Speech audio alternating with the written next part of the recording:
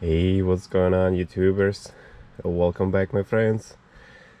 Um, in this video I'd like to show you one new improvement I have made uh, to the standard coil and it's a backlight on the north side. So as you see the letter N which I actually added recently as well and now it's uh, being backlighted in addition to the front as we have um, south pole LED indicator indicating letter S here and up front we're gonna have a backlight for uh, letter north. So the way it connects is you have your 12 volt um, actually let me show you the circuit diagram for it.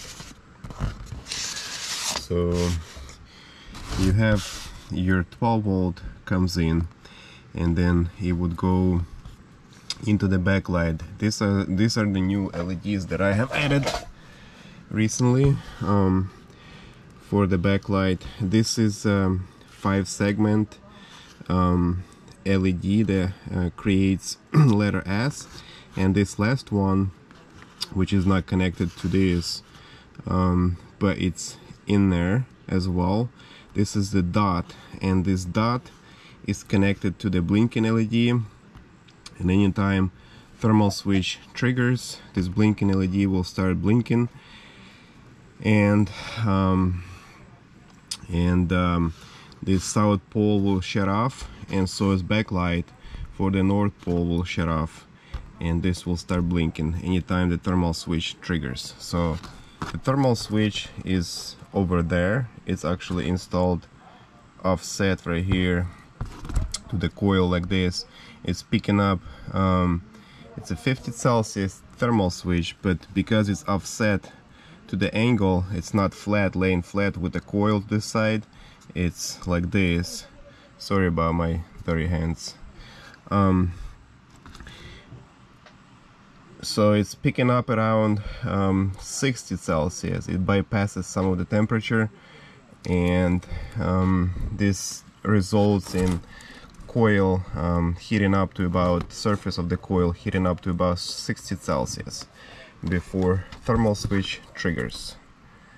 And when it triggers the south pole LED indicator will go off um, the dot over there there's a dot. The dot will come on and right here is the blinking LED right next to it right here. The blinking LED will come on also the backlight on the north side will uh, shut off. So now I'm gonna go ahead and turn it on so you guys can see. Here is my 12 volt coming in. So the way it works is you feed 12 volt into the circuit this circuit here.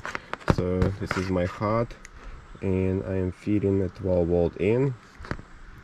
And as it returns right here from the coil it needs to return into the relay coil.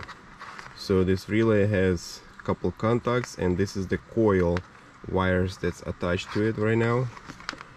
Relays coil make sure.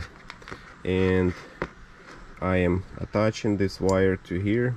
Just a second I'm gonna go ahead and connect it. Well can't do that with one hand. Now I got it connected and here we go. We got south pole LED indicator along with the north pole that is being lit up right now. Let me shut off the lights so we can see it better. Here we go. So this is the south pole indicator and this is the north side.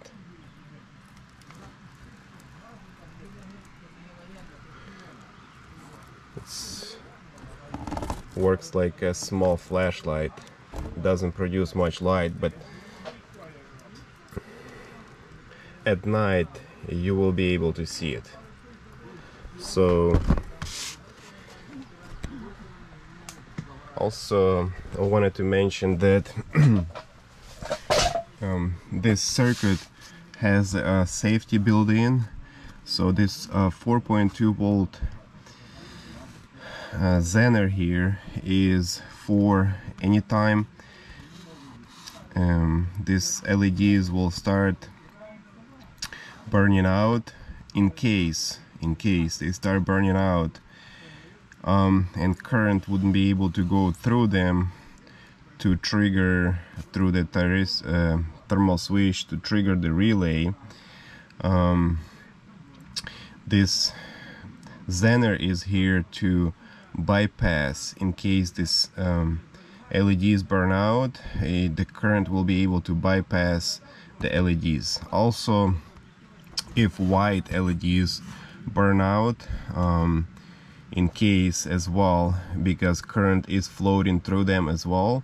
So if they burn out the current will be able to bypass via 4.2 volt Zener here uh, also in case they are short which usually doesn't happen but diodes do short so in case they short and stop producing light um, either this side current will be going through it and if this side is shorting current will be going through it as well and um, relay will um, function properly. As long as thermal switch is operating which is very rare that this component fails. Um, I had one coil that actually uh, had a failed uh, thermal switch after it was installed actually a year later. Um, but that's like one out of a hundred that uh, this thermal switch fails. Usually it doesn't fail so um, this circuit um, will work in case LEDs fail or short so I just want to show you that this will allow you to continue use the coil when this doesn't work and when this doesn't work. You will still be able to use a coil and it will trigger when it gets hot and it will place your unit in a standby mode on a safety. Alright guys.